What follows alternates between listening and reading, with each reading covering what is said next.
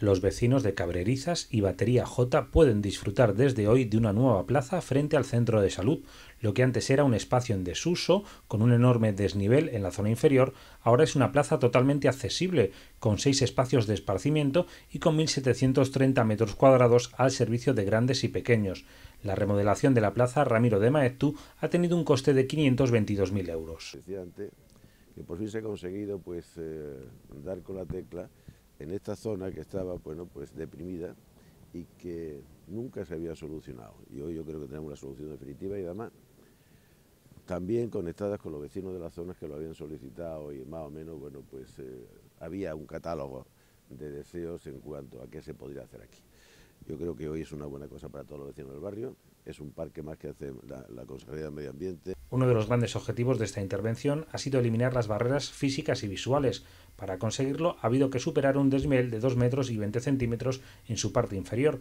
Una vez conseguido, los vecinos disponen de un espacio abierto, permeable y accesible. Lo que ya ha dicho el presidente, ¿no? estamos muy satisfechos con el resultado de esta plaza porque no era fácil. Un desnivel de 2,20 en un espacio público no es fácil de salvar, de hecho la anterior plaza eh, no era accesible desde ningún, ninguno de sus costados, solo tenía dos accesos y en ambos eh, había que salvar escalones, unos ascendentes y otros descendentes.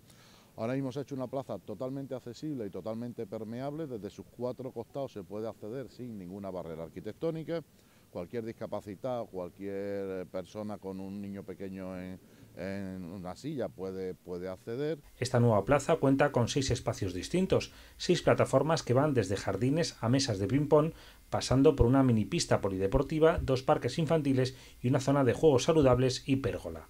Hay seis ofertas distintas, muy conseguidas, desde, desde la edad de hasta los 5 años para los bebés, para los niños chiquitos, después de los 5 a los 12 años hay una, estamos aquí en una pista, una pista pues eh, mini pista polideportiva muy graciosa y realmente hay un montón de atracciones, de, de, de, elementos para que los niños y los puedan jugar y puedan disfrutar de todo esto, todo este espacio.